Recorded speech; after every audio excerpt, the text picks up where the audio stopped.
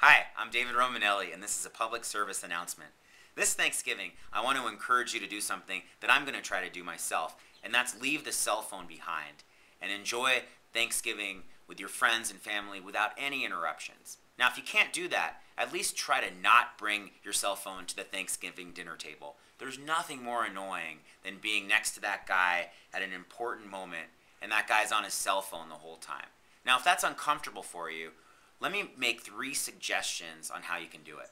Number one, forcefully remove the cell phone from the guy's hand. Number two, kindly ask him to please get off his cell phone.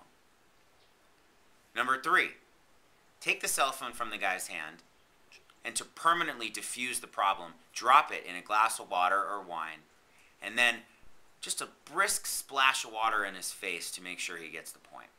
Thanksgiving is a special day we get to spend with friends and family, many of whom we never see. So let's have respect for the present moment.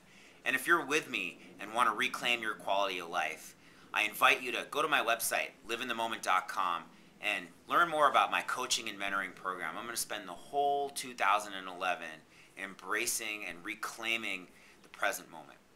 Have a great Thanksgiving. Namaste.